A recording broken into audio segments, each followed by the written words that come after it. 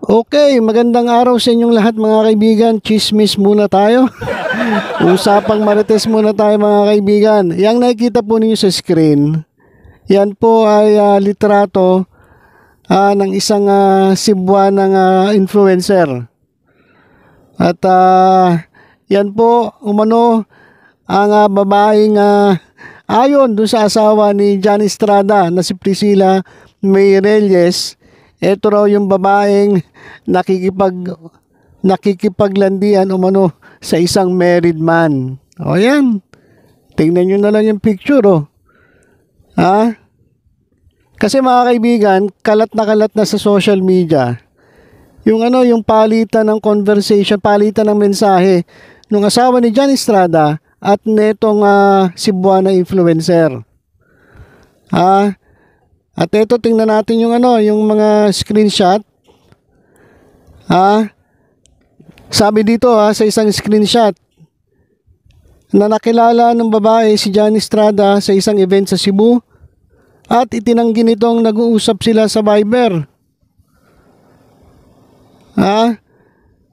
Ayon kay Priscilla, I came across a Viber conversation between the two of you that it is not appropriate o alam mo naman na may asawa eh. O diyan ko nakuha yung number mo. Doon sa Viber conversation ninyo nung asawa ko. Ayan, nakakuha ko yung number. Ha? Pero maring tinanggi pa rin nung babae.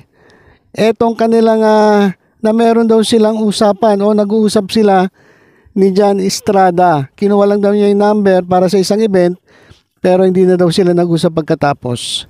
Uh, ito yung ano, yung uh, uh, conversation. Sabi nung taga, ano, taga Cebu, Hello, good day ma'am. We meet John here in Cebu once when they have event. Is there something wrong? O yun yung sabi ng influencer. Ang sagot naman ng asawa ni John Estrada, Since when are you chit-chat buddies? Oh. Eh, sagot ng babae, hindi po kami nag-chat. Wala kaming conversation since. Yun nga, sabi nga ng asawa ni John Estrada, eh nakita ko eh. Meron kayong Viber conversation eh. Ah, alam mo naman na may asawa eh, di ba? O, doon ko nakuha yung number mo.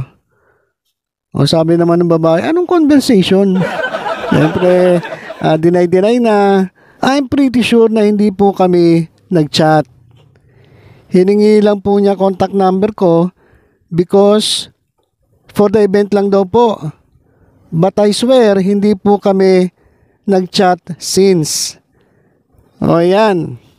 At uh, ito pa, meron pang screenshot na sinabi ng babae na aware siyang may asawa si Jan at wala itong intensyong pumatol kay Jan Estrada. Ito, tuloy natin yung pagbabasa sa screenshot. Sabi nung asawa ni Jan Estrada, which event? Anong event? O, sabi nung babae, Batang Quiapo, yung nandito sila sa Cebu. Alam ko yan. Eh, para sa ang purpose na ibinigay mo yung number mo sa kanya? O sabi nung uh, influencer, yes ma'am. And aware po ako na he's married at wala po sa intention ko na pumatol sa kanya. Eh, sabi nung asawa ni Jan Estrada, ano tawag mo doon sa isang babae na ibinibigay yung kanyang number, cellphone number, at ini-entertain etong isang lalaki may asawa Oh, for whatever BS. Alam nyo na yan, mura.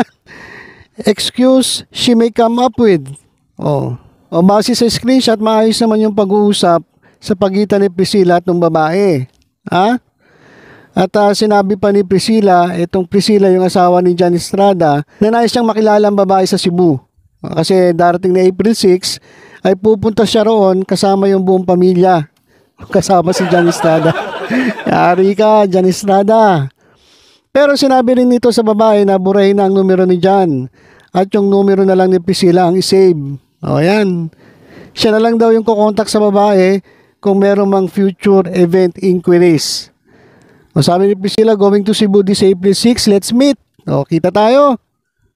Since you are so friendly, eh, dadaling ko yung buong pamilya. Kasama siya. It's always nice to have a well-round friend in Cebu. O, for the meantime, burin mo muna yung number ng asawa ko. Ang isave mo lang dyan sa cellphone mo, yung number ko. Ha? At uh, sisiguraduhin ko na ibablock ko yung number mo dun sa telepono ng asawa ko. ha? Ayoko lang magkaroon ng problema sa darating na panahon. Since polite ka naman, ako ang kukontak sa'yo sa mga future events at mga inquiries. Have a nice day. O yan, yung ano, yung uh, ito, yung screenshot, nakikita nyo naman si screen. Ha? Eh, sabi ng babae, sige, okay ma'am, thank you, ingat. so, yun yung nangyaring conversation. Ah, dun sa ano, sa asawa ni John Estrada at dito nga sa influencer. Ah, wala pang reaction si Jan tungkol dito. Eh, kung babasahin ninyo yung mga comments dito mga kaibigan, dapat kasi ang kausapin ni Priscilla, eh itong si Jan Estrada. Oh, ah, ito, babasahin ko yung ilang comments dito. Dapat kasi pag married ang lalaki, wag nang magpakyut. kasi lalaki yan eh, lahat kayang tuhugin. At sa mga married na lalaki naman, dapat makontento sa isang tuhog. Huwag nang mangtuhog ng iba. ah, ito pa. Laban, Queen Priscilla. Hanggang may ilalaban, ilaban mo. ah, talagang nakaka-relate yung mga babae dito eh. Oh. Talagang uh, kinakampiyan nila itong si Priscilla. Oh, For your information po, kung may duda ka sa asawa mo, dapat ang una mo pong i-confront yung asawa mo po mismo. Kasi kung yung asawa mo matino, never yan mag-flirt o whatever na pwedeng gawin sa girl para sila magkaroon ng convo. O yan, pinapayuhan na nila si Priscilla. Ah, ito, sinayang mo lang ang buhay mo, Priscilla. Ang ganda mo, pumatol ka sa may asawa. Ket ba sabihin na hiwalay na sila pero kasal pa rin sila? Ha? Let him go. Marami pang iba dyan na deserve mo. Huwag naman, hindi pa nga naghihiwalay. Kayo naman, masyad paghihiwalayin mo agad. Ha? Eh ito, parang binabalikan nila yung si Janice de Belen. Ah, been there, done that. Ikaw naman sis, graduate na ako dyan. So parang ganun daw ang sinasabi ngayon ni Janice de Belen. Miss Priscilla, iwanan mo na lang yan. Dahil hindi talaga yan ako kontento sa isang babae. Hindi lang ikaw ang ginanyan yan, di ba? O yan na. so, kasi sa totoo lang mga kaibigan, kilalang kilala kasi itong si John Estrada bilang babaero. Ah, ah marami na raw itong ah, niloko. Nata ito, ang nangyayari, nagsisimula na yung panloloko niya dito kay Priscilla, dun sa kanyang asawa, ah, dun sa kanyang kinakasama. At meron namang ano, meron namang ano rito na parang hindi ata sangayon sa kanya kasi sinasabi na ito daw si Priscilla ay takot sa sariling multo. Ah, Janice is the best. Ito namang iba dito, eh kumakampi kay Janice de Belen. At uh, hindi ko alam eh kung ano istorya nito.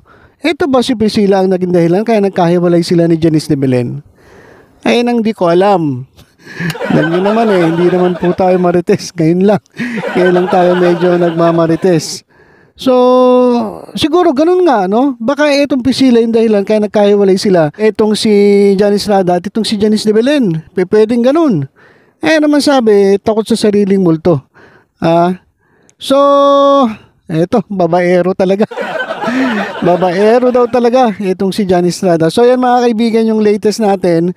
Hintayin na lang natin yung ano, magiging statement ni Johnny Estrada tungkol dito kasi tahimik eh. Tahimik ito si John Estrada. At uh, kapag meron tayong nakuha bagong balita tungkol sa issue na to, eh syempre babalita ko po agad sa inyo. So yun lang po muna. Hello mga nanonood dyan, mag-subscribe po kayo sa Batang Maynila Toys. Ay, mali, ganyan pala.